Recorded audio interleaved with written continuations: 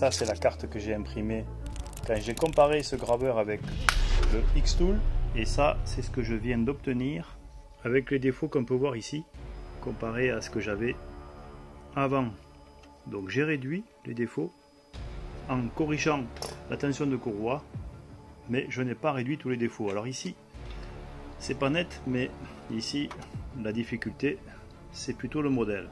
Si on les regarde comme on le regarde à l'œil nu, voilà ce que ça donne. C'est absolument pas choquant. C'est quand on grossit qu'on voit des défauts. Je commence à voir des défauts apparaître, mais là je suis un grossissement par deux. Et je suis très près. Donc c'est bien un défaut de précision. 2 mètres par minute, 1 mètre par minute. On n'a pas tout à fait la même chose. Le modèle n'est pas parfaitement arrondi ici, et c'est pour ça qu'ici on n'est pas clair non plus. C'est que le modèle n'est pas clair.